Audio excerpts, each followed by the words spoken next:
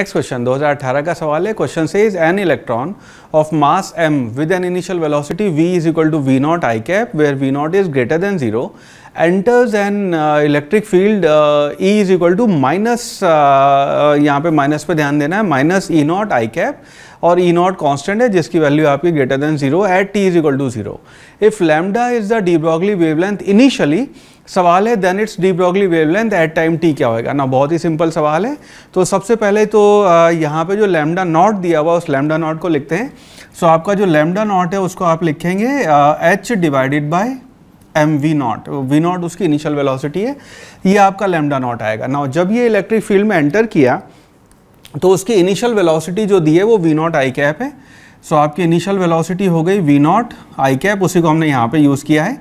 ये आपकी initial velocity हो गई। इसके ऊपर जो फोर्स लगेगा वो होगा इसका क्यू ई क्यू इसका चार्ज ई e आपकी इलेक्ट्रिक फ़ील्ड तो इसकी वैल्यू हो जाएगी माइनस ई e, ये इसका charge multiplied by minus E naught I cap ये आपका फोर्स हो गया।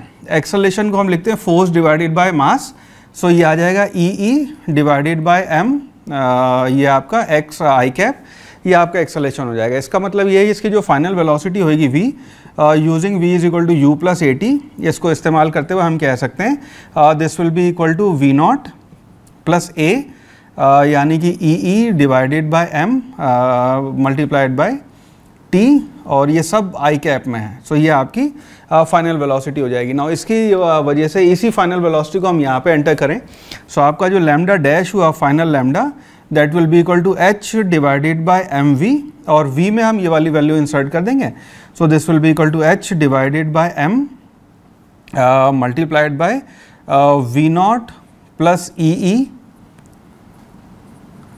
divided by M into T ये आपकी वेवलेंथ uh, हो जाएगी। ना इसी में अगर यहाँ से वी नॉट हम कॉमन ले लें इसको हमें आंसर बताना है लेमडा नॉट की टर्म में जो चार ऑप्शन दे रखे सो यहाँ से अगर हम वी नॉट कॉमन ले लें तो आपकी लेमडा डैश हो जाएगी H divided by M V not और ये बचा आपका one plus E E divided by M V not T और इस चीज़ को हम यहाँ पे लेमडा नॉट लिख सकते हैं तो अपना जो फाइनल आंसर है वो आ जाएगा आपका लेमडा डैश नई जो लेमडा है that will be equal to lambda not divided by one plus E E divided by M V not into T ये आपका फाइनल uh, वैल्यू हो जाएगी। सो बेस्ड ऑन दिस हम कह सकते हैं कि आपका जो ऑप्शन नंबर ए है that would be the right answer इसी सवाल पे अगर आप डायमेंशनल एनालिसिस भी करेंगे सो डायमेंशनल एनालिसिस के बेसिस पे भी आप कह सकते हैं कि आपका ऑप्शन नंबर बी और सी गलत होएगा बिकॉज़ वो डायमेंशनली सही नहीं है।